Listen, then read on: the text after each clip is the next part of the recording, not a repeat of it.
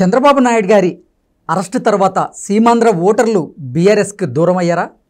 ఆ భయంతోనే బీఆర్ఎస్ నేతలు జయప్రకాష్ నారాయణను తెర వెనక తీసుకొచ్చారా అంటే అవుననే సమాధానం ఇస్తున్నారు కొంతమంది రాజకీయ విశ్లేషకులు.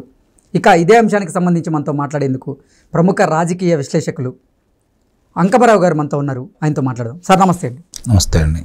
సార్ చంద్రబాబు నాయుడు అరెస్ట్ తర్వాత సీమాంధ్ర ఓటర్లు బీఆర్ఎస్కి దూరం అయ్యారా ఆ భయంతోనే బీఆర్ఎస్ నేతలు జయప్రకాష్ నారాయణ గారిని తెరమేనికి తీసుకొచ్చారా అంటే ఏం చెప్తారు సార్? అంటే గతంలో అసెంబ్లీ సాక్షిగా జయప్రకాష్ నారాయణ మీద చేయి చేసుకోబోయారు కొంతమంది బీఆర్ఎస్ నేతలు. కానీ ఇప్పుడేమో ఆయనతోనే ఇంటర్వ్యూలు ప్లాన్ చేస్తున్నారు.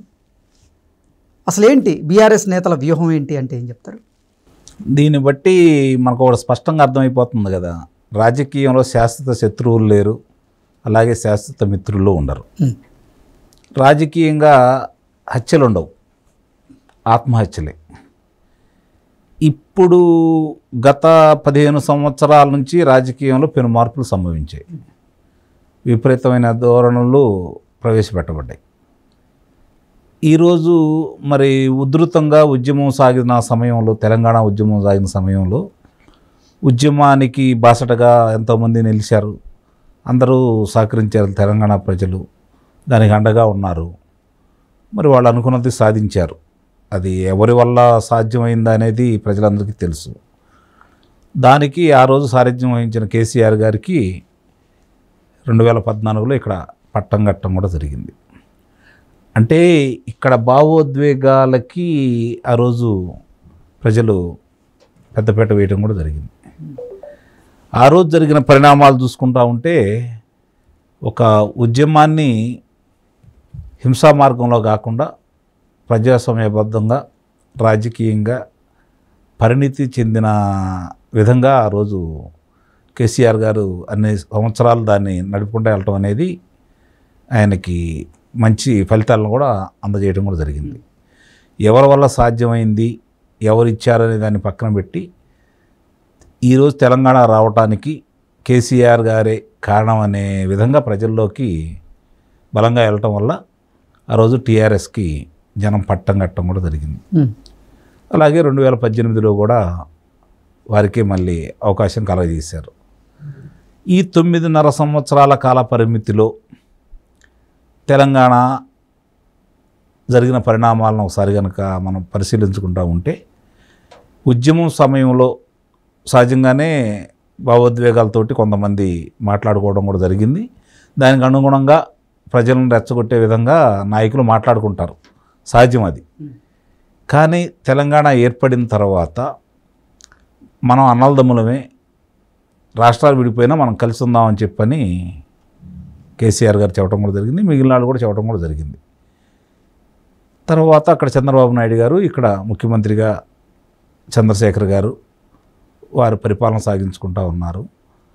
జరిగే పరిణామాలన్నీ దృష్టిలో పెట్టుకొని చంద్రబాబు నాయుడు గారిని దెబ్బతీయాలనే ఒకే ఒక్క సంకల్పంతో అందరూ కలిసి ఆ రోజు అందుట్లో మొహమాటమేం లేదు. కేసీఆర్ గారు బహిరంగానే చెప్పాడు కదా రిటర్న్ గిఫ్ట్ ఇస్తున్నామని చెప్పని ఆయన శాయశక్తుల జగన్ గారికి సహాయం చేయడం కూడా జరిగింది. అట్లాగే కేంద్ర పెద్దలు కూడా చంద్రబాబు నాయుడు గారిని మళ్ళీ అధికారంలో రాకుండా ఉండటం కోసం వాళ్ళ యొక్క వాళ్ళ దగ్గర ఉన్నటువంటి సర్వశక్తులు జగన్ గారికి అందజేసి వాళ్ళు చేయటం కూడా జరిగింది. ఇది బహిరంగ రహస్యమే. ఇందులో దాచుకోవాల్సింది కూడా ఏం లేదు. జగన్ గారు మరి ఆయన శత్రువే కాబట్టి రాజకీయంగా ముగ్గురు కలిసి అధికారం జగన్ గారికి అప్పయ్యవడం కూడా జరిగింది. జరిగిన తర్వాత పరిణామాలను చూసుకుంటా ఉంటే తెలంగాణ చంద్రబాబు నాయుడు గారు తెలుగుదేశం పార్టీ ఆంధ్ర రాష్ట్రంలో అభివృద్ధి లేదు కాబట్టి ఆయన లేడు కాబట్టి జగన్మోహన్ రెడ్డి గారు వచ్చారు కాబట్టి చంద్రబాబు నాయుడు గారు ఉన్నంత వరకు తెలుగుదేశం పార్టీ ఆంధ్ర రాష్ట్రంలో ఉన్నంత వరకు సౌకర్యాలు సరిగ్గా లేవని భావించినా కూడా ఇబ్బడి ముబ్బడిగా పెట్టుబడులు రావడం జరిగింది పరిశ్రమలు రావడం కూడా జరిగింది. ఉమ్మడి రాష్ట్రంలో ముఖ్యమంత్రిగా తొమ్మిది సంవత్సరాలు పనిచేసిన చంద్రబాబు నాయుడు గారు వేసిన పునాదులు ఆ రోజు నాటిన విత్తనాలు వృక్షాలై ఆ ఫలాలు ఈరోజు తెలంగాణ అనుభవిస్తూ ఉంది. ఆ అవకాశం ఆంధ్ర రాష్ట్రానికి మళ్ళీ కలిగి కలగజేశారు చంద్రబాబు నాయుడు గారు. ఫలితాలు అద్భుతమైన ఫలితాలు వస్తున్నాయి. ఆ ఫలితాలను తీసుకొని ప్రజలకు అందజేసే సమయంలో ఆయన్ని అధికారాన్ని నుంచి తొలగించడం కూడా జరిగింది. ఈ ఐదు సంవత్సరాల్లో ఆంధ్ర రాష్ట్రంలో జరుగుతున్నటువంటి పరిణామాలు చూసుకున్న తర్వాత అక్కడ కంటే తెలంగాణ బాగుందన్న ఉద్దేశంతో తెలంగాణకి పరిశ్రమలు కొన్ని తరలి వచ్చినమాట వాస్తవం. ఇది ఆంధ్ర రాష్ట్ర పాలకులు చేస్తున్నటువంటి నిర్లక్ష్యం వల్ల జరిగిందే తప్ప వేరే ఉద్దేశంతో కాదు. మళ్ళీ ఇన్ని సంవత్సరాల తర్వాత నారా చంద్రబాబు నాయుడు గారిని అరెస్ట్ చేసి నిర్బంధం చేసిన తర్వాత ఇక్కడ కేటీఆర్ గారు మాట్లాడిన విధానంతో మనస్తాపం చెందినటువంటి తెలుగుదేశం పార్టీ కార్యకర్తలు కావచ్చు చంద్రబాబు నాయుడు గారి అభిమానులు కావచ్చు తటస్థంగా ఉన్నటువంటి సీమాంధ్రులు కావచ్చు అప్పుడు బీఆర్ఎస్కి అంటే ఇప్పుడు బీఆర్ఎస్ అప్పుడు టీఆర్ఎస్కి సహాయ సహకారాలు అందజేసినటువంటి ఆంధ్ర ప్రజానీకం ఇక్కడ ఉన్నటువంటి వాళ్ళు దీనికి కేటీఆర్ గారు మాట్లాడిన దానికి మనస్తాపంతో అలాగే చంద్రబాబు నాయుడు గారిని అక్రమ నిర్బంధాన్ని ప్రత్యక్షంగాను జరుగుతున్న పరిణామాలని న్యాయస్థానంలో జరుగుతున్నటువంటి ఆలస్యాన్ని దృష్టిలో పెట్టుకొని సాగదే ధోరణి చూసుకున్న తర్వాత సంఘీభావం తెలపడానికి ఇక్కడ బయటికి రావడం కూడా జరిగింది. ఇక్కడ టీఆర్ఎస్ నాయకులు కావచ్చు లేకపోతే కేటీఆర్ గారు కావచ్చు ఆలోచించుకోవాల్సింది ఏంటంటే ఒక ఉద్యమం సమయంలో ఆ ఉద్యమానికి సంబంధించిన వాళ్ళు ఏ ప్రదేశాల్లో ఉన్నా యావత్ ప్రపంచంలో దేశ విదేశాల్లో ఎక్కడ ఉన్నా కూడా సంఘీభావం చెప్పడం అనేది ఎప్పటి నుంచో జరుగుతున్నటువంటి పరిణామమే. ఎక్కడన్నా ఏదైనా జరుగుతూ ఉంటే పరిణామాలు దానికి అక్కడ ఉన్నాడు స్పందిస్తూ ఉంటారు ఆ ప్రాంత ప్రజలు. అట్లానే తెలంగాణ ఉద్యమం జరిగినప్పుడు దేశ విదేశాల్లో కూడా సంఘీభావంగా చాలా కార్యక్రమాలు జరిగినాయి. ఈరోజు బీఆర్ఎస్ ఏర్పడిన తర్వాత భారతీయ రాష్ట్ర సమితి ఏర్పడిన తర్వాత ప్రాంతీయతత్వం పోయినట్టే కదా.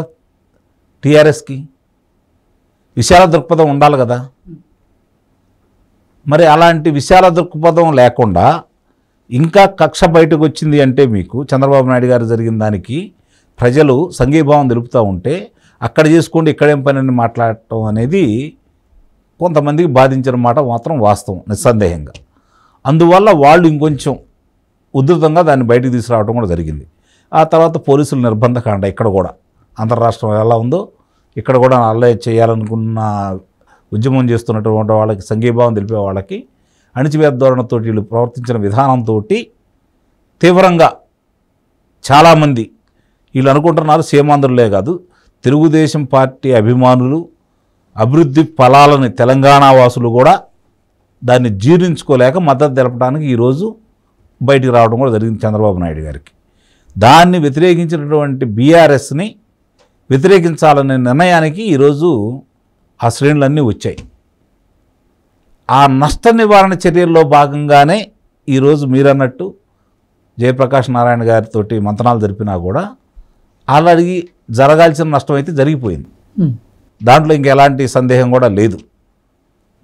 ఊబిలోకి వెళ్ళిపోయారు.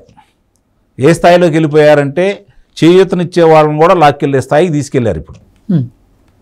కాబట్టి వాళ్ళు ఏదో కండితుడుపు చర్యలుగా ఏదైనా చేపట్టినా కూడా తిరిగి ప్రజల ఆమోదం తెలిపే ఆలోచనతో లేరు. ఎందుకంటే వీళ్ళలో ఇప్పుడు కూడా వీళ్ళలో మార్పులు రాలేదు. కొంతమంది నాయకులు మాట్లాడుతున్నారు. కొంతమంది మనస్ఫూర్తిగా మాట్లాడుతున్నారు. ఇప్పుడు కాంగ్రెస్ పార్టీలోకి వెళ్ళాళ్ళు మాట్లాడుతున్నారు బీఆర్ఎస్ నుంచి. బీఆర్ఎస్లో ఉండేవాళ్ళు మాట్లాడుతున్నారు. మంత్రుల స్థాయిలో వాళ్ళు మాట్లాడుతున్నారు. అట్లాగే హరీష్ రావు గారు మాట్లాడారు. ఖమ్మం వెళ్ళి కేటీఆర్ గారు మాట్లాడటం కూడా జరిగింది. ఇవన్నీ నష్ట నివారణ చర్యల్లో భాగంగా వాళ్ళు తీసుకుంటున్నారే తప్ప జరగాల్సిన నష్టం జరిగిపోయింది. మనసుకు గాయాలైంది. అద్దం పగిలితే అతికిచ్చిన తర్వాత కూడా అద్దం సంపూర్ణంగా అతకదు. ఆ పగిలిన ఛాయలు స్పష్టంగా కనపడతానే ఉంటాయి. అద్దం లాంటి మనసుని వీళ్ళు గాయపరిచారు. మరి దాన్ని ప్రజలు ఏ విధంగా రేపు పొద్దున వాళ్ళు నిర్ణయం తీసుకుంటారో చూడాలి. చాలామంది బహిరంగంగానే మాట్లాడుతూ ఉన్నారు. మరి ఇవన్నీ దృష్టిలో పెట్టుకున్న తర్వాత నష్ట నివారణ చర్యగా మాట్లాడుకున్నారు ఈరోజు లోక్సత్తా జయప్రకాష్ నారాయణ గారిని మరి వాళ్ళు మాట్లాడుతున్నారంటే మరి ఆయన పరిణితి చెందినటువంటి గొప్ప పరిపాలనా దక్షుడు. ఎందుకంటే ఆయన ఐఏఎస్ డాక్టర్గా చదివి డాక్టర్ అయిన తర్వాత ఐఏఎస్ అయ్యారు ఆయన. అట్లాగే ఆయన శాఖాపరంగా ఆయన మంచి సమర్థుడిగా కూడా పేరు తెచ్చుకున్నారు. ఆయన ఒకప్పుడు ఆయన ప్రభావం బాగానే ఉంది. కొంతమంది మేధావులు ఆలోచనాపరులు ఆయన ఆలోచన నచ్చి ఆయన సంఘీభావం తెలపడం కూడా జరిగింది. అలాగే కోడపల్లిలో ఆయన శాసనసభ్యుడిగా చేయటం కూడా జరిగింది. తర్వాత జరుగుతున్న పరిణామాల్లో ఆయన వెనకబడిపోయారు రాజకీయంగా. ఈరోజు మళ్ళీ ఆయన తీసుకొచ్చి మాట్లాడితే నష్ట నివారణ చర్యలు ఏదన్నా భాగమవుతుందే తప్ప ఆయన మాట్లాడ మాట్లాడేనందువల్ల ఈరోజు బీఆర్ఎస్కి ఉపయోగపడతారని కానీ ఆయనతో ఏదన్నా మాట్లాడిస్తే ప్రజలు అనుకూలంగా ఉంటారని కానీ భావించాల్సిన అవసరం అయితే లేదు. ఓకే.